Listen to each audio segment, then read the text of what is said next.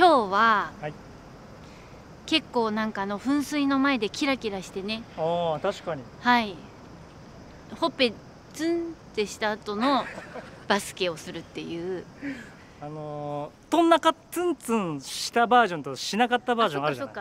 あれツンツン使われるんかツンツンあれ大好評でしたよね巷あでは。マジですか？うん、巷ではっていうかまあちょっと前に撮ったばっかやけど。そうや。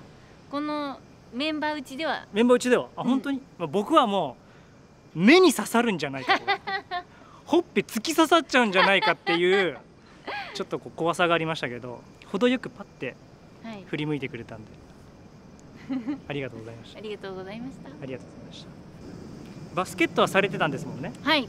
通りでドリブルがもうお上手でしたので、はい。まあ、ちょっと今ワールドカップとかやってますんでバスケットのそこら辺とダブりましたけど僕は今までやったことがないスキーとかうんうん。スケボーとか、サッカー選手ってダメなんですよ。おい。怪我しちゃうから。あでそうういうスポーツにちょっとこれから興味を持ちたいなと思っております。冬のね。うーん。どうなんですか？何か。あでもねスキーを今年の冬はい。十何年ぶりにやったらお。おすごい楽しかったです。滑れるんですね。おい。おい。おい。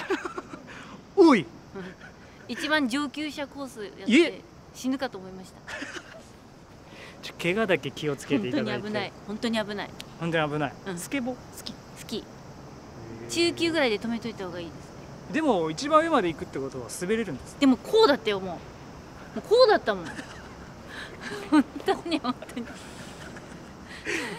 でも似合いそうっすね。なんかゲレンデがね。危なかったですでも。ユニクロでじゃあ次？次の。いつも一緒の時あの運動系が多いからあそうですね。次スキーにしますいやそこかダウンっはてあったかいみたいな。そこは俺が言っても全然あれやから綾瀬さんが言っあそったか。そうそうそう。綾瀬さんがえ言った。どうですか？すっごい気持ちいいですよ。なん肌か触りもいいんですね、薄くって柔らかくてなんだろう。ヒートテックすごいって感じです20周年ですので進化に進化を重ねてまいりました。感じます、はい。この柔らかさと滑らかさとこの薄さ。